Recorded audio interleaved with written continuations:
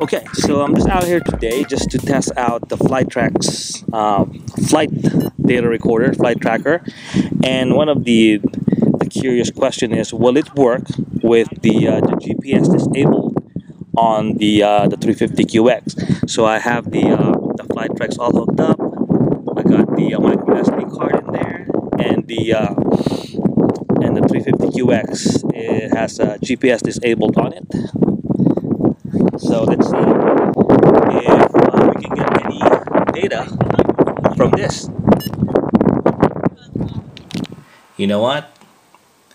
We can.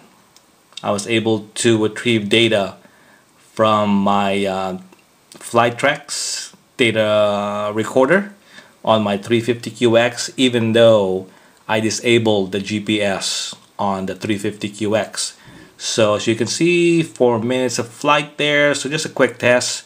Um, two miles and two mile an hour average speed. Okay so I know that's kind of weak. So uh, let's bring it down. This is the, the flight path.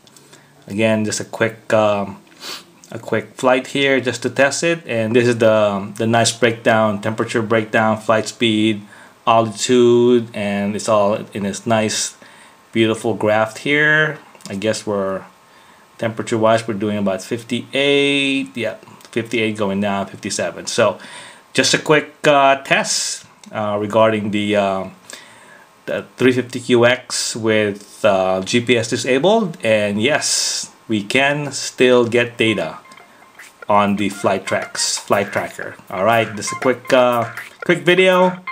Take it easy. This is Blue Flyer